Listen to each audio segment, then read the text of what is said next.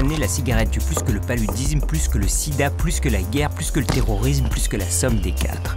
Une invention plus létale que la poudre et la bombe atomique réunies. Environ un milliard de morts pour le siècle en cours. What is vape?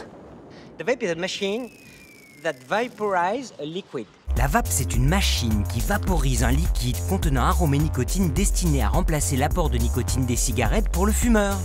Je ne pensais pas pouvoir arrêter de fumer, mais j'avais envie de fumer ce truc chez moi au lieu d'être un pestiféré à la fenêtre.